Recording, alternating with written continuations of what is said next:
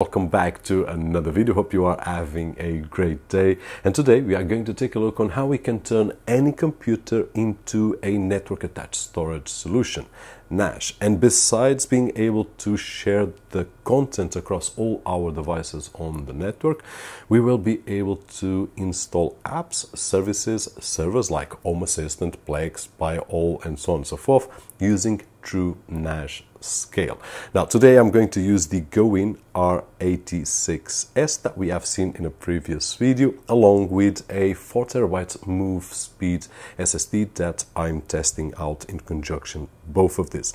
But this guide will help you to install on any computer that you have available. So today we are going to introduce TrueScale NAS here on the channel so that as usual you get curious and try it for yourself and probably you will find that this will be a great way either to recycle your old hardware or as I will mention during this video and especially at the end of the video why should we use this machine and the advantages that are using this form factor right over here from GoWin.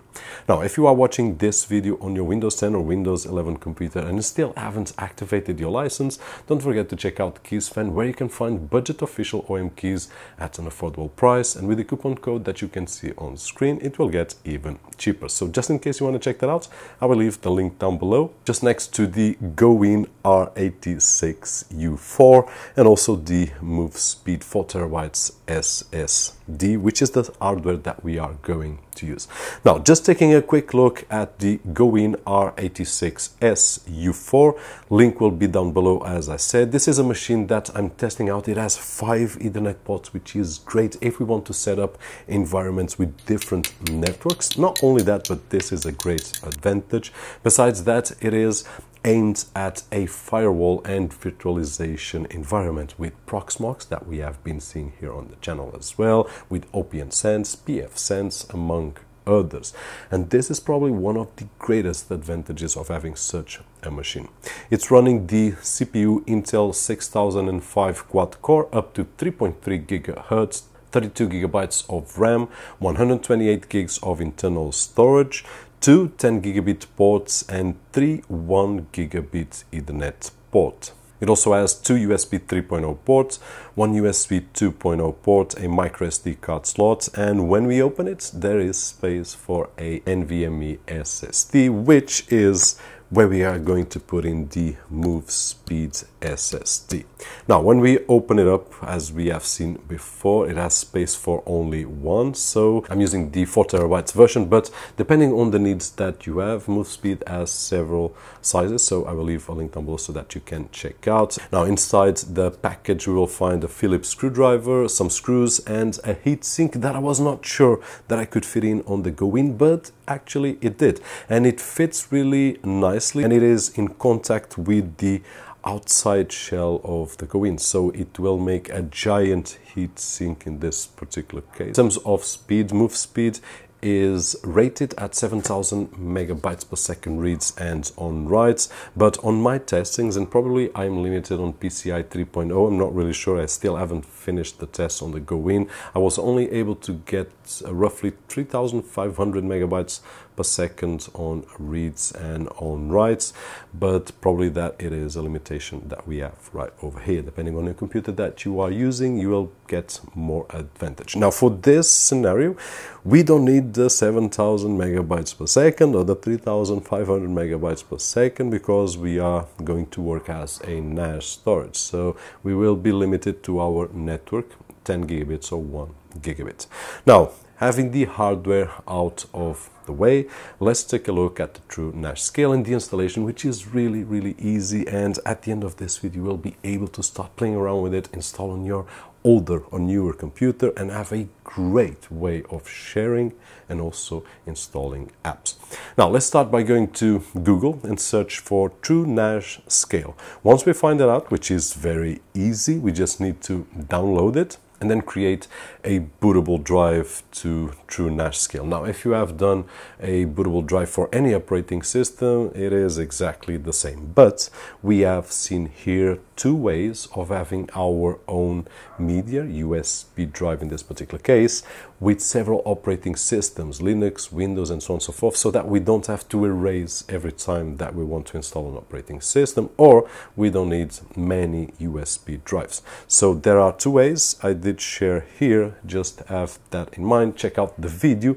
And the only thing that we need to do is when we download any operating system like TrueNAS that we are doing right over here, I just need to drag it inside the OS images that I want on a folder of this USB drive that we have created. And basically, this is it. Once we have that operating system inside, I just need to remove the pen, put it on the computer that we are going to install, which in, the, in this case it's the GoWin, and boot it up. Once we boot it, we just need to go to the BIOS of that particular computer and select the pen. Now in this particular case, I'm using the Medicat pen, so once again, link will be on the YouTube cards, how to create it and how to use it. It's very easy. I just need to select the operating system that I want, in this particular case, TrueNAS, and press, and that is it. Installation wise, it's very easy. We just need to follow the guide and choose the disk where we are going to install and then just follow the steps. Now, there is one uh, thing right over here that I want to share with you. I'm testing out the GoWin uh, still, so I do have Windows 11 on the internal storage and I don't want to delete it just yet. But on a permanent solution, I would install TrueNAS Scale on the internal SSD and then on the Movespeed, which is on the M.2 slot, I would leave it to storage and probably I could partition it to install apps and so on. Now in this particular case I'm using the internal storage to test it out so what I'm going to do is to put an external SSD over USB 3.0 and use it to boot up TrueNAS or to install TrueNAS right over there. So just have this in mind. Now, once we decide which is the disk that we want to install, just complete the installation and basically that is it. At the end, we will have a message stating what is the machine's IP address and we can access it from any computer or mobile phone or tablet on our network. But installation wise, this is it, as quick and as fast as you saw. Now, TrueNAS Scale has a world of possibilities, but we are going to cover two points, which is how to share data, how to share a folder so that we can access from our machines on the network, and how to install apps on TrueNAS Scale as well. Now, let's start with the applications. On the dashboard, we will find a lot of information about the machine that we are using, such as CPU, memory disks, resource usage. So if you want to explore that, just go ahead. But for now, let's go to storage pool and let's select the disk that we want to use for data. And then we just need to choose the type of redundancy. At this moment, I'm only using one SSD, so there is no redundancy. I will have to select stripe and that is it. I just need to give it a name and create it. And as I did mention that we are going to try two different things, installing apps and also having storage available to the network. Have in mind that these two scenarios do not work well on the same disk. So I'm going to show you how to install apps and then I'm going to show you how to delete the, those apps and use the storage for sharing on the network. Now, if we go to the applications, we just need to press it and the system will ask which disk we want to use to uh, install the apps. Now I did choose Movespeed and then it prepares the disk and we can start installing our favorite apps. Now there are a lot of them as you can see right over there and there are ways to install more than those that we can see on screen. But for now let's resume with those. I did install Pi-hole and it was working in about 30 seconds or so and I also installed Home Assistant. Maybe two minutes but it's the normal installation of Home Assistant and it's working great. Now this Home Assistant version as we install it is not the supervised version as we have seen here on the channel channel I will not have links enough but we have seen many ways of installing Home Assistant this is the one that we will be limited in terms of add-ons and so on and so forth. But there are workarounds and I will share a dedicated video as soon as possible on how we can install Home Assistant supervised on a true Nash scale machine. Now, this is the way to install apps, and if we have several disks, more than one disk, at least we will have one for apps and one to share data across the network. In this particular case, what I did, I did delete the part of the apps and then I could use it to share my storage across my network. Now, what I did was to activate SMB service and also NTFS, and then I did create one user so that it can access the data on the disk and that we can share all the content that we have right over here with the machines that we want. And then as an example, I did connect with my Mac and I was able to put in and copy and whatnot in terms of data. So if I wanted to put my movies or series or pictures or documents right over there, I could create folders, organize everything, and that would be just great. So in conclusion, we can install TrueNAS on any hardware that we have, but there are advantages of using a device such as GoWin R86 SU.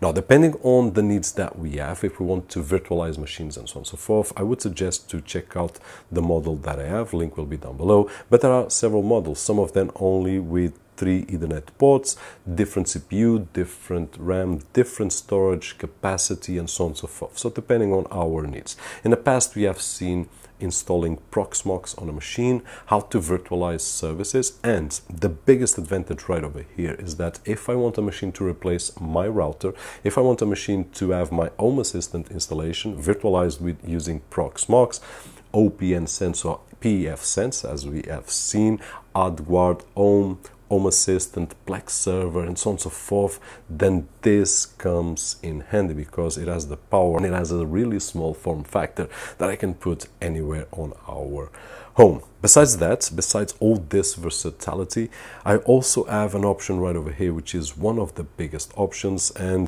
this is why it's targeted at firewall hardware. Now I do have five Ethernet ports and I can create different networks. So let's imagine that one is connected to my router receiving the data from my router and then here on the basement I create one network that only me can access it, isolated from all the other networks that I have on my home. Then I still have three available ports. So I can decide for the ground floor one network and for the first floor another network. So depending on the needs that I want, I can do all that with this great small machine without much effort using Proxmox as an example. I will try to leave right over here on the YouTube cards if I still have links available. But this is one of the biggest advantages and of course the small form factor with all the functionalities that it has and capable of using true Nash as well. So these are some of the scenarios that I would use instead of using a older computer. Having that said, hopefully these ideas and the TrueNAS Scale installation with some of the possibilities that we have helped. And if it did, don't forget the usual thumbs up right over there, which is really appreciated on this side of the screen. My name is Roberto Jorge, and as always, I'll see you on the next one.